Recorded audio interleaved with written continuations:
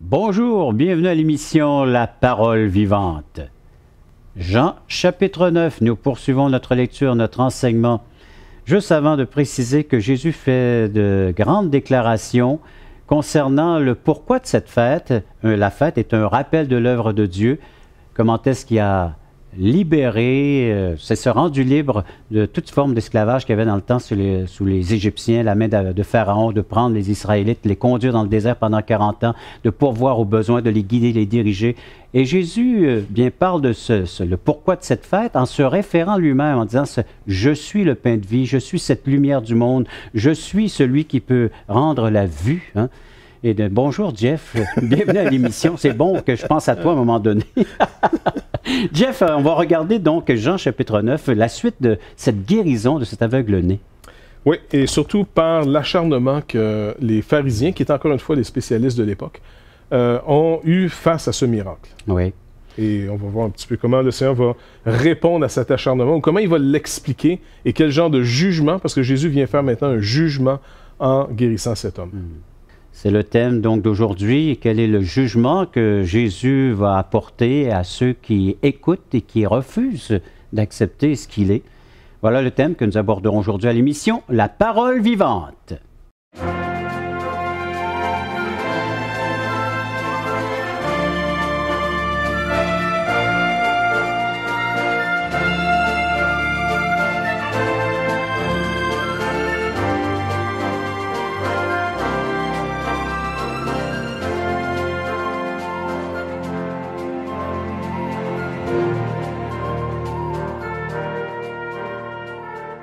Jean chapitre 9, euh, lecture à partir du verset 24, mais juste avant, vous savez un peu ce qui se passe dans le cadre de nos émissions, on s'adresse à notre grand Dieu. Jeff, si tu veux nous conduire dans ce moment de prière. Mmh. Fait que Seigneur, accorde-nous encore une fois ce qu'on te demande, on le demande conformément à ta volonté. Bénis nos autorités mmh. civiles. Bénis-les, Seigneur Dieu, tous ces hommes et ces femmes qui sont élevés en dignité, qui euh, dirigent les affaires de notre pays, les tribunaux, la justice, afin qu'on mène, Seigneur Dieu, une vie paisible et tranquille en toute piété devant toi, toi qui veux que tous les hommes soient sauvés. Mm. Alors, Seigneur Dieu, s'il vous plaît, bénis notre pays, bénis-les, bénis leurs familles, protège-les, enlève ceux qui n'ont pas d'affaires là et fortifie ceux que tu appelles à cette fonction très, très importante. Et Seigneur, pour nous, aujourd'hui, on te demande encore une fois, accorde-nous ta parole, adresse-toi à nous, Seigneur Dieu, par les Écritures. Que le Saint-Esprit puisse illuminer notre entendement de ces vérités afin de nous délivrer de nous amener à l'œuvre accomplie par Jésus-Christ. S'il vous plaît, Père, bénis-nous pour la gloire de ton nom. C'est dans le nom de Jésus qu'on te prie. Amen. Amen. Merci, Jeff. Jean, chapitre 9, Bible en main, l'Évangile de Jean, verset 24. Euh, les pharisiens appelèrent une seconde fois l'homme, l'homme qui avait été guéri, et qui avait été aveugle, et lui dirent Donne gloire à Dieu, nous savons que cet homme, en parlant de Jésus, est un pécheur. Il répondit s'il est un pécheur, je ne sais. Je sais une chose, c'est que j'étais aveugle et que maintenant je vois. Il lui dire Que t'a-t-il fait? Comment t'a-t-il ouvert les yeux? Et puis là, il répondit de la façon dont il l'avait fait. Et a précisé le jour du sabbat. Verset 35, Jésus, après qu'il l'avait chassé, ça va de mal en pis pour cet homme. Et oui, il y a une guérison, il voit clair maintenant, mais ça va mal avec donc tout le système qui était en place. Et Jésus, après qu'il l'avait chassé, l'ayant rencontré, lui dit Crois-tu au Fils de Dieu? Il répondit, Et qui est-il, Seigneur, afin que je croie en lui? Tu l'as vu, lui dit Jésus, et celui qui te parle, c'est lui. Et il dit, Je crois, Seigneur, et il l'adora. Puis Jésus dit, Je suis venu dans ce monde pour un jugement, pour que ceux qui ne voient point voient, et que ceux qui voient deviennent aveugles. Intéressant, non? Deuxième fois. Deuxième interrogatoire pour cet homme. Ouais. Ses parents ont déjà été même interrogés. On a appelé ses parents pour certifier si c'était vraiment lui. Donc les parents disent oui, oui, c'est notre fils. Est-ce qu'il est né aveugle? Oui, oui, il est né aveugle, mais d'après vous, comment il a retrouvé la vue? Là, les parents sont, ont très peur. Parce qu'il y a vraiment une police religieuse, il y a vraiment une, une forme même de tyrannie religieuse euh, dans le pays. On, on, a des périodes, des fois, dans nos sociétés où le côté religieux devient menaçant mm -hmm. au nom de l'orthodoxie, au nom de peu importe la raison, et on perd de vue un peu la raison pourquoi on doit protéger la vérité. Et là, ça devenait menaçant. Les gens ont tellement peur d'être chassés des institutions. Oui. Comme si l'institution, Dieu ne peut pas agir en dehors d'elle. Donc, ses parents vont dire écoute, euh, on ne sait pas, euh, il y a l'ange, euh, interrogez-le vous-même. Parce qu'ils ont peur de la synagogue. Qu'est-ce qui- va se passer avec cet homme? en Oh, oui, lui, lui, il va être, lui, il va être jeté. Oui, vraiment. Mais lui, on dirait qu'il n'y a pas grand-chose à perdre. Il, est- il est vraiment libéré. Parce qu'il il l'interroge à nous en disant OK, dis-nous encore comment il y a. Et là, c'est comme si. Regarde, c'est vraiment intéressant. Et verset 27 dit Je vous l'ai dit, Hmm. vous n'avez pas écouté. C'est comme s'il a dit Écoutez, les gars, moi j'étais aveugle, mais savez-vous quoi? Je pense qu'il guérit aussi les sourds. Puis là, il dit Pourquoi vous- Puis là, là, il dit Est-ce que vous voulez devenir ses disciples? Et là, là, là, c'est vrai. Là, le gars, il commence à prendre un peu de liberté. euh. Tu imagines, pour les pharisiens et les religieux de l'époque, ça, là, ici, cet homme, un aveugle né, de conditions sûrement humbles, un mendiant, parce que c'est. Il, Oui, le reconnaît C'est pas lui le mendiant? Ouais. Ouais. Donc, c'est comment ce, ce petit pourri s'adresse à nous, noble classe, aimée de Dieu. Et puis, ils vont, c'est les termes qu'ils utilisent, c'est le Ah ouais. verset 34. T'es né tout entier dans le péché, tu nous enseignes, et ils le chassèrent. Trop beau, non? Non, c'est vrai, moi je trouve ça tellement béni, tellement encourageant, parce que finalement, plutôt que de, plutôt que de les amener, ces hommes, de l'orthodoxie, on peut même pas dire qu'ils sont pas orthodoxes. Mais le problème, c'est que l'orthodoxie, c'est pas suffisant. Il faut que tu comprennes ce que tu affirmes. Et si tu comprends ce que tu affirmes de manière très orthodoxe, tu comprends que tu es perdu et que tu es sauvé qu'en promesse, parce que tu as mis ta foi dans une promesse. T'es pas C'est ici. une promesse à laquelle, donc, on n'a aucun pouvoir. Non, puis en plus, en d'autres mots, ils sont en train de montrer qu'ils ne croient pas à la promesse. Ils ne croient même pas à ce qu'ils affirment. Parce que cet homme, est l'aveugle, là, c'est un peu la condition classique de tous les êtres humains. On, on a perdu la- le sens, on a perdu la vue, on ne sait pas d'où on vient, on ne sait pas où on va, on ne sait pas qui on Les est. grandes questions existentielles. Et là, Jésus est en train de leur manifester encore une fois qui il est, la lumière du monde. Il ne fait pas juste le dire, c'est facile de dire, euh, on peut dire n'importe quoi, mais il manifeste ce qu'il dit être. Et là, ils vont le refuser encore. Ils vont dire non. Mais ça va être vraiment intéressant de voir comment c'est encore d'actualité aujourd'hui. Et en passant, pas nécessairement par la religion dite officielle, Oui. mais il y a une nouvelle sorte de religion qui s'appelle l'athéisme. Et il y a tout autant des arrogants épais dans ce domaine-là que dans les autres. Tu vas voir.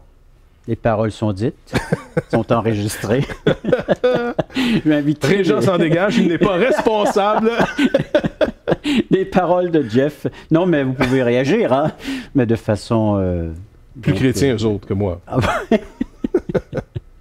Vous composez le numéro de téléphone suivant, en 877 l'Espoir, en 8775 377647 ou visitez nos sites espoir.ca, toutchrétien.com. Après la pause, on regarde quel est ce jugement que Jésus prononce à l'égard de ceux qui le rejettent. Le mépris montre tout le temps, finalement, qu'on n'a rien compris. Parce que la véritable justice ne se reçoit que par la foi. Nous ne pouvons pas la produire. Et ça, c'est la première chose qu'on réalise lorsqu'on vient à Jésus-Christ. Si on n'a pas réalisé ça, on n'a pas réalisé l'Évangile. Pas du tout.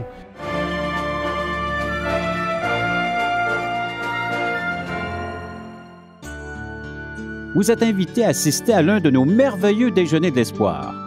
Un déjeuner causerie gratuit partout au Québec. Vous pourrez y entendre le témoignage de vie transformée par l'amour de Dieu. Pour connaître et savoir où ont lieu ces déjeuners, appelez-nous maintenant en composant le 1877 l'espoir. 1877 537 7647. Ces déjeuners sont offerts gratuitement. Bienvenue à tous.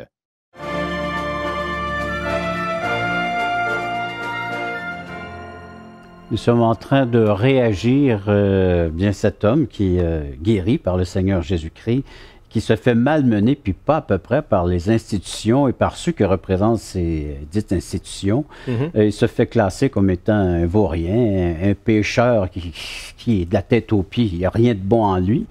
Et puis euh, l'évangile, euh, ce n'est que... C'est Oui, ça. Puis le- Puis le- le- l'aveugle, le, monsieur en question, il, il est même pas en train de se défendre. non, Il est tout. bien d'accord avec ça. Il n'y a pas de problème. Les gars, moi, je sais que je suis. Oui, oui, c'est Ouais. vrai. Je suis je entier dans le péché, selon ce que vous Donc dites. l'évangile est pour les faibles? Oui. Parce que souvent, on se fait accuser. Hein? Ça, je sais pas si ça t'est arrivé. Mais on entend souvent vous êtes devenus des chrétiens, vous êtes des croyants parce que vous êtes des faibles, vous, êtes des faibles, vous ne voulez pas assumer la vie. Mm. Écoute, euh, moi, je suis pas juste faible, je suis totalement incapable. Hmm. Que quelqu'un, hier, j'écoutais une émission euh, qui parlait finalement des gens âgés. OK? Oui. Et puis, c'était, euh, si les gens décodent, vont savoir quand est-ce qu'on a enregistré l'émission. Donc, c'était sur comment les gens âgés devraient rire. sais, la sagesse, c'est, il disait, c'est des, des gens qui sont âgés, et c'est le rire de l'homme âgé ou quelque chose de genre. J'écoutais ça, puis c'était quand même émouvant. C'était, c'était, c'était bien fait, c'était touchant. Et on voyait finalement que les gens, surtout en vieillissant, ils, ils doivent s'accrocher à un sens parce que là, devant eux, il n'y a plus de projet. Là. Tu ne peux plus pelleter par en avant, le banc de neige est rendu assez haut, tu t'en vas bientôt, c'est fini. Les jeunes peuvent toujours rapporter à Mm. plus tard, mais il y a un temps, tu peux plus rapporter à plus tard fais le face. sens Ouais. de la vie et est-ce que j'ai réussi ou j'ai échoué? Mm. Et de toute façon, si j'ai réussi ou j'ai échoué, j'ai réussi et échoué devant qui? La plupart de tes amis sont plus là, sont partis. Ta génération est partie. Il y avait des artistes là-dedans qui vont être oubliés, comme ils ont joué des rôles, Mm. puis après ça, ben, d'autres vont prendre leur place. Bref, c'était triste en même temps. Et tu dis, mais comment comment il n'y a pas une recherche plus sérieuse sur l'héritage chrétien qu'on a reçu? Pourquoi on ne retourne pas à Jésus-Christ? C'est marquant dans toute l'histoire de l'humanité. Jésus-Christ est unique. Et là, finalement, on pourrait dire, oui, c'est vrai que c'est les faibles qui vont surtout répondre. Mhm. On accuse, moi, je me- une fois, je me stationne en avant de l'église où on était. Et puis, euh, il y a un gars qui attend un peu pour passer, c'est tout. tu sais, Je me stationne. Et là, en continuant, il baisse sa, sa vitre et il me crie Va-t'en chez vous, espèce d'immigré. Écoute, moi, je suis né à Quartier-Ville, ça fait cinq générations que à Quartier-Ville. Le gars me traite d'immigré. Sais-tu pourquoi? Parce que je suis en train de me stationner devant une église, je m'en vais à l'église, tout le monde s'en allait à l'église. Pour lui, dans sa tête, il y a juste des immigrés qui vont à l'église. Comme si le bon peuple québécois avait dépassé cette étape. Tu dépasses une étape. Je veux dire, on est rendu maintenant dans une société qui ne sait même plus où ce qu'ils s'en vont. On ne on, on sait plus ce qu'on va, on sait, on sait plus ce qui est vrai, ce qui est faux. Je veux dire, le crime majeur qui se faisait dans nos écoles quand on était petits, Oui. là, je sais pas si tu t'en rappelles, c'était mâcher de la gomme. Oui. Tu Oui. Là, maintenant, tu as des détecteurs de métaux pour être sûr que tu n'es pas en train de rentrer des armes dans l'école. Je- on, on- on a évolué. Hey, wow, tu sais, je suis très impressionné. L'aveugle ici, là, il se fait traiter de n'importe quoi par ces gens-là. Mm. Ici, c'est des religieux. Aujourd'hui, on a une autre domination religieuse qui s'appelle euh, l'agnostisme ou l'athéisme. Ils sont au-dessus de tout ça, eux autres, Oui. et ils méprisent. Hmm. Le mépris montre tout le temps, finalement, qu'on n'a rien compris. Parce que la véritable justice ne se reçoit que par la foi. Nous ne pouvons pas la produire. Et ça, c'est la première chose qu'on réalise lorsqu'on vient à Jésus-Christ. Si on n'a pas réalisé ça, on n'a pas réalisé l'Évangile. Pas du tout. L'aveugle ici qui est jeté dehors, il, il se défend même pas. Il est même pas en train de dire, les gars, je suis un bon gars, donnez-moi une chance, vous allez me connaître. Non, non. Il se fait jeter dehors. Et Il- il- Jésus va vers lui. mais oui, Jésus apprit qu'il l'avait chassé. Et l'ayant rencontré, il lui dit Crois-tu au Fils de Dieu ou au Fils de l'homme? Tout dépend de la version. Ouais. Et lui, là, il répond Qui est-il, Seigneur, afin que je croie en lui? Il n'y a pas de résistance, lui. Hey, moi, là, les gars, j'étais aveugle, là, je vois. Je sais juste une chose il s'est passé un phénomène que, à moins que Dieu ait agi, ça ne s'explique pas ce qui vient de m'arriver. Et Jésus lui dit, c'est celui qui te parle, c'est lui. Tu l'as vu? Non, il commence le Saint dit. tu l'as vu? Comment tu trouves ça? Voir? Ah! tu l'as vu, je suis devant toi, Ouais. c'est moi. Et puis là, le, le Saint dit, euh, pas le Seigneur, mais l'aveugle dit, je crois, Seigneur, et il se prosterne devant lui. On est dans une Mm. Oui. nation, c'est les Juifs. On ne se prosterne pas devant les hommes. Donc, il ne voit plus que l'homme qui est devant lui, mais il voit qui est vraiment Exactement. Jésus. Je veux dire, tu un gars qui était Il ignorant. l'adore. Un Il échec de société. Oui, il, adore- il- il vient de voir. Là, il voit pour vrai. Là, le Seigneur va prononcer son jugement après. Hmm. Et le Seigneur l'a bien dit, rapporté par les évangélistes, entre autres dans Matthieu, il dit Croyez pas que je suis venu appeler à la repentance des justes, mais des pécheurs. Et Luc va dire dans Luc chapitre 4, c'est le Seigneur Jésus qui se révèle, qui se présente. Il dit Je suis venu pour rendre la vue, recouvrer la vue aux aveugles, en parlant dans le sens spirituel, de revoir les choses comme Dieu les voit, de vivre les choses comme Dieu voudrait qu'on les vive. À vous de réagir, en 877 l'Espoir, en 877 377 ou visitez nos sites espoir.ca, toutchrétien.com. Après la pause, on répond à l'une de vos questions. Il y a comme deux étapes à la vérité. Il y a la- l'aspect négatif, puis il y a l'aspect positif.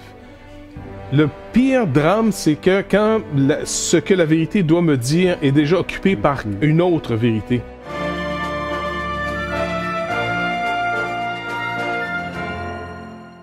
Nous vous invitons à nous contacter pour recevoir gratuitement de la littérature. Vous recevrez le Nouveau Testament, une portion des Écritures relatant la vie de Jésus, ainsi que l'Évangile de Jean qui parle de comment connaître Jésus et sa merveilleuse promesse. Un tract, Aujourd'hui l'espoir, c'est Jésus seul. Et finalement, un livre de relations d'aide sur la Bible de June Hunt, qui nous parle que la Bible est la source suprême de la révélation du sens de la vie. Alors n'hésitez pas à appeler, c'est gratuit.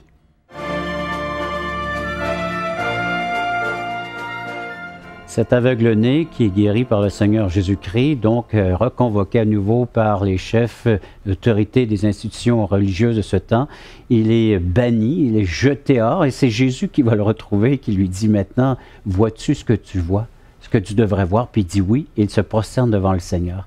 C'est intéressant de voir comment Jésus euh, est là, près de lui, ceux qui sont rejetés. Jésus, les faibles, encore une fois, on voit, Jésus est près de ceux-là, près de ceux qui sont faibles. Et il y a un jugement concernant maintenant cette autorité religieuse parce qu'ils ne voient pas ou ne croient pas ce que Jésus est en train de leur révéler? Parce que si je lis le texte ici, c'est Je suis venu, Jésus dit, je suis venu euh, dans ce monde pour un jugement. Pour que ceux qui ne voient point voient et que ceux qui voient deviennent aveugles. Ça, c'est 39 de l'Évangile de Jean, chapitre ouais. 9. Et là, la réponse des pharisiens Oui. qui sont peut-être en train de suivre le gars qui ont jeté dehors. Oui. Quelques pharisiens qui étaient avec lui, ayant entendu ces paroles, lui dirent Nous aussi, sommes-nous aveugles Jésus leur répondit Si vous étiez aveugles, vous n'auriez pas de péché. Mais maintenant, vous dites Nous voyons. C'est pour cela que votre péché subsiste. Donc, le plus proche qu'on peut arriver de la vérité avant qu'elle se présente à nous de manière positive. Il y a comme deux étapes à la vérité. Il y a la- l'aspect négatif, puis il y a l'aspect positif. Le pire drame, c'est que quand la- ce que la vérité doit me dire est déjà occupé par une autre vérité. Tu sais, quand, quand- quand mon réservoir, là, mon vase est déjà plein, et que quelqu'un veut le remplir avec quelque chose d'autre, il n'y a pas de place. Donc, Jésus est en train de leur dire, si vous étiez à la condition d'être aveugle, vous n'auriez pas de péché Mm. parce que vous seriez en quête de lumière. Mais puisque vous dites que vous voyez, vous n'avez pas besoin de lumière. Moi, je vous présente la lumière du monde que je suis. Je fais des miracles. Je viens selon les Écritures. Je viens selon votre propre théologie. J'assume les choses que je dis en les faisant. Et là, vous dites que, euh, que je me trompe. Je fais les choses le jour du sabbat pour vous montrer, selon votre théologie, selon votre compréhension, que Dieu agit le jour du sabbat. Alors, vous-même, vous êtes arrivé au jugement. Vous-même, il dit, aux pharisiens, Nicodème. Ouais. Vous êtes arrivé à la conclusion que cet homme ne peut pas faire ce qu'il fait à moins que Dieu soit avec lui. C'est vous qui l'avez dit. Ouais. Alors, maintenant, puisque vous dites que vous voyez, votre péché demeure parce que ce que vous croyez voir est en train de vous tuer. Vous demeurez dans votre incrédulité, alors vous allez mourir dans toutes les fautes que ça va produire après. C'est le même jugement qu'il va apporter sur des villes dans lesquelles il a fait des miracles. Ouais, ouais, ouais, Il va ouais. dire à Capharnaüm, eh bien, si euh, ces miracles qui ont été faits vont t'apporter un jugement parce que tu n'as pas cru en celui que ces signes devraient te révéler, te, te faire connaître, c'est ma personne en tant que fils de Dieu. Et c'est pour ça que nous, en Occident, maintenant, dans notre histoire, on est à un carrefour extrêmement dangereux. Un jugement va venir sur nos nations, c'est obligé, parce qu'on a eu l'héritage du christianisme. Maintenant, j'ai le choix. Ou bien je regarde toutes les erreurs que les institutions religieuses ont faites, et puis je peux en trouver amplement, Oui. aucun Oui. problème. Ou Au point de me décevoir puis de décrocher Oh oui, complètement. là. Et puis d'être bien content en passant. Aussi, oui. D'être bien content d'avoir trouvé toutes les erreurs pour dire bon, mais je fais ce que je veux maintenant parce que je leur donne même plus le droit de me parler. Ils sont pas dignes de me parler. Et peut-être avec raison. Oui. Mais le problème, c'est pas les institutions qui me sauvent. Mm. C'est Jésus-Christ. C'est la parole de Dieu. Ici, au Seigneur, au temps Ni du ceux Seigneur qui Jésus, représentent ces mêmes Exactement. institutions. au temps du Seigneur Jésus, les institutions religieuses étaient pourrites. Mhm. C'était pourri jusqu'à la moelle. Et pourtant, le Seigneur n'a jamais finalement dit Écoutez, les gars, je ne peux plus aller de l'avant, le programme est fini, euh, les gars m'ont déçu, euh, je suis désolé. Non, non, non. Il leur a dit Même si eux, il, il leur dit même Leur théologie est bonne, faites ce qu'ils vous disent, ne faites pas ce qu'ils font. Ouais. Et là, il les provoque à venir à lui. Venez à moi. Et là, c'est la même chose encore aujourd'hui. J'ai le choix. Ou je suis en train de me nourrir de cadavres, d'erreurs, de péchés, de saletés, de cochonneries qui étaient faites au travers de l'histoire de l'Église pour dire bon, mais c'est pour ça que je veux pas croire. Ou bien de dire au-delà de toute la scrap, là, Jésus-Christ, lui, là, et ceux qui, au travers de cette histoire, ont marché pour vrai avec lui, est-ce qu'ils ont quelque chose à m'amener? Et inévitablement, oui. Parce que qu'est-ce que mon monde a à m'offrir? Le bout de ma vie, là, écoute, le bout de nos vies, là, ce que j'ai vu, moi, ça m'a déprimé. Je dire, si on vit longtemps, là, sais-tu quoi? T'es dans un lit, puis on te change la couche. Ouais. Moi, je trouve ça plate un peu comme finition de vie glorieuse. Puis Donc, c'est pour ça que- à manger. Ouais, c'est pour ça que je me dis, écoute, pourquoi je me tournerais pas vers le Seigneur Jésus-Christ? Et dès qu'on se tourne vers lui, un auditeur nous avait déjà demandé une fois, là, comment je peux savoir si Dieu existe? Oui. Si on se tourne vers Dieu, le Dieu de Jésus-Christ, par Jésus-Christ, il est vivant et tu vas savoir que c'est vrai. Le chemin, la vérité et la vie. Et le Seigneur est vivant, il agit encore aujourd'hui. Donc, il agit pour ceux qui se tournent pour lui, vers lui pour vrai. Et sinon, il va dire, écoutez, vous pensez voir, pas de problème, je vous laisse dans votre lumière. Vous n'avez pas besoin de la mienne. Vous dites que vous êtes, euh, vous voyez. Mais puisque vous voyez et que vous n'avez pas vu votre besoin, vous êtes mort. Oui. On peut inviter les gens à nous appeler, S'ils veulent. nous écrire. Vous pouvez le faire en 877 l'espoir, en 877 537 7647 ou via nos sites espoir.ca, toutchrétien.com. Après la pause, la conclusion de l'émission. Pourquoi Dieu m'exaucerait? Est-ce que j'ai est-ce que j'ai ce droit sur Dieu?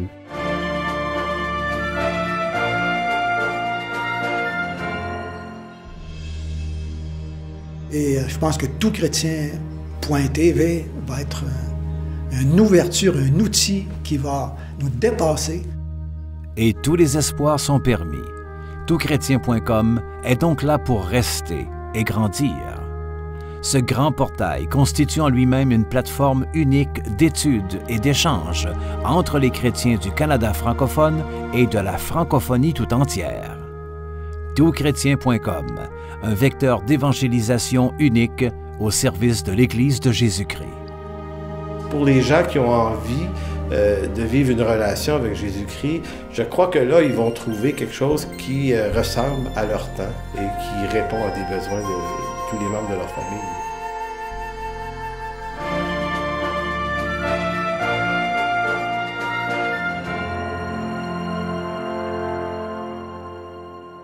Votre question pour conclure l'émission d'aujourd'hui, elle nous parvient du Cameroun. Incroyable, je veux dire, on est, plus- on est- on est populaire en Afrique. Populaire, il va falloir y aller. Ouais, Mais tu n'as pas été, toi, oui, je suis allé, oui. Oh, ben, je suis allé euh, en Côte d'Ivoire. Côte d'Ivoire. Toi aussi, tu visites l'Afrique de temps Le en temps. Bénin, le Ghana, le Togo, tu es entre autres aussi euh, au Rwanda, Congo. Alors, nos émissions s'y rendent Ben, régulièrement. à Dieu, ça peut être encourageant. La question, t'es prête? Euh, oui, Bon, trop pas prêt, j'y vais. Ben, voilà. Pourquoi Dieu ne répond-il pas à mes prières? Ça, c'est une très bonne question. Hein? Mais que- maintenant, il faut une réponse. As-tu une autre question? C'est la seule, unique. si on se fait aux Écritures, Oui. Dieu nous entend quand on crie vers lui. Il dit quand le malheureux crie, l'Éternel entend. Donc, on a cette certitude sur les Écritures et Dieu ne peut pas nous mentir et nous tromper. Quand quelqu'un est malheureux et crie vers Dieu, il entend toujours. Mes prières pourraient être aussi reçues normalement sur quelle base je viens, sur, sur quel mérite. Pourquoi Dieu m'exaucerait? Est-ce que j'ai ce droit sur Dieu? Le Seigneur nous l'accorde en Jésus-Christ. Maintenant, si quelqu'un vient au nom de Jésus-Christ, il vient au nom d'une justice parfaite, celle du Fils unique de Dieu qui s'est livré pour moi et non la mienne. Je ne viens pas au nom de mes malheurs, je ne viens pas au nom de mes bonnes œuvres, je viens au nom de Jésus. Et quand ces conditions sont remplies, sachant que quand le malheureux crie, l'Éternel entend, je viens en son nom, au nom de Jésus-Christ, non pas sur ma justice, mais la sienne, Jean nous dit, pour deux raisons, la prière ne serait pas exaucée. La première, d'abord, il va dire à certains, parce que vous ne demandez pas, vous ne recevez rien. Parce que ça, c'est assez Voilà. facile. hein? Puis d'autres, si vous demandez mal. D'autres, vous demandez mal. Et la raison, il dit, c'est pour satisfaire vos convoitises. Alors, on devrait toujours prier dans le repos que celui qui m'entend est un père pour moi. Et il sait me donner ce qu'il y a de mieux. Dès que j'ai fait connaître mon besoin au Seigneur, je dois faire confiance qu'il m'exauce. S'il me dit non, eh bien, il y a quelque chose de mieux. C'est tout. Faut, il faut que je rentre dans cette paix avec lui. La paix avec Dieu, c'est de lui faire confiance. Je lui redonne le règne sur ma vie. Je lui redonne le droit d'être Dieu. Je redeviens un enfant face à un Père qui m'aime. C'est de reprendre Dieu tel qu'il se révèle à nous dans les Oui. Saintes Écritures. Dieu n'est plus maintenant le génie dans la bouteille Oui. qui exauce mes vœux. Voilà, oui. Et puis même si souvent, écoute, il y a- il y, a des fois, euh, tu as une demande très légitime. Sais, la- un de tes enfants est malade à la mort, ou encore tu es toi-même pris d'une maladie et à la Marie mort. qui ont demandé la guérison de leur frère Lazare. Exactement. Le Seigneur veut me montrer une chose. Est-ce que dans ma vie, il n'a pas bâti un témoignage de sa fidélité à mon égard dans des petites choses ordinaires, dans les grandes, mais comme dans les petites? Oui, alors il faut que j'arrive à ce, à ce lieu d'être en paix avec lui. En disant, Écoute, Seigneur, je te fais connaître mon besoin parce que c'est toi qui me dis, Ouais. fais-moi connaître tous tes besoins. Et le premier des besoins de l'être humain, c'est de retrouver Dieu. Oui. Et quand ça c'est fait par Jésus-Christ, maintenant, on pourrait quasiment dire, enseigne-nous à de plus en Mm. plus te faire confiance. Ouais. C'est ça, entrer dans Enseigne-nous à prier, c'est ça. Enseigne-nous à prier, enseigne-nous à marcher avec Connaître la toi volonté, à accomplir la volonté du Père. et à te faire confiance. Mm. Écoute, Régent, on est des amis. Oui, Si on est des amis, c'est que notre relation s'est bâtie où on a de plus en plus confiance l'un envers l'autre. Cette confiance fait que je perds beaucoup moins de temps quand je t'écoute à comprendre. oui, Si je te connais pas, je te fais pas confiance, j'analyse énormément ce que tu vas me dire. oui. Mais plus je te fais confiance, plus je laisse tomber finalement. Et tu te débrouilles assez bien, même si je suis pas assez clair dans mes pensées. On commence à se comprendre. hein? Ouais. Ben, si c'est vrai entre êtres humains, Ouais. entre nous, Ouais. comment ça doit être à plus forte raison avec Dieu? Donc, Dieu, on pourrait dire, répond toujours à nos prières, mais pas nécessairement comme je pense qu'il devrait répondre. Donc, il faut que je lui fasse confiance. À la vie, tant mieux. À la mort, tant pis. Mais il faut que je lui fasse c'est une confiance. question de vie ou de mort? Ouais. Faire confiance en Dieu.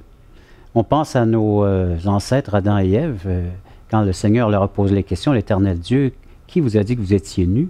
Juste avant, quand ils ont découvert qu'ils étaient nus, ils ont essayé de se s'habiller eux-mêmes, de se revêtir, hein, Ouais. de se faire des ceintures. Et le Seigneur leur a enlevé tout ça, puis il les a revêtus de sa propre justice. hein. Un agneau qui a été offert, l'agneau qui a été immolé. Et c'est la même chose, c'est de faire confiance que par nos propres efforts, on n'arrivera jamais à accomplir quoi que ce soit qui va nous valoriser devant Dieu. C'est seulement l'œuvre de Jésus-Christ. Et voilà, la confiance devrait commencer par la personne et l'œuvre de Jésus-Christ. Celui qui a dit, je suis la lumière du monde. Celui qui me suit ne marche plus dans les ténèbres, mais il aura la lumière de la vie. À vous maintenant d'établir ce lien, parce qu'il l'offre, il vous l'offre, c'est- gratuit, c'est une faveur non méritée, c'est une grâce qui fait à cette humanité déchue, perdue, qui a un grand besoin, un ultime besoin. Notre première prière, ça serait au secours, au secours Seigneur, sauve-nous de cette, donc, de cette nature pécheresse. Merci, Merci d'avoir été à l'écoute de cette autre émission de La Parole Vivante.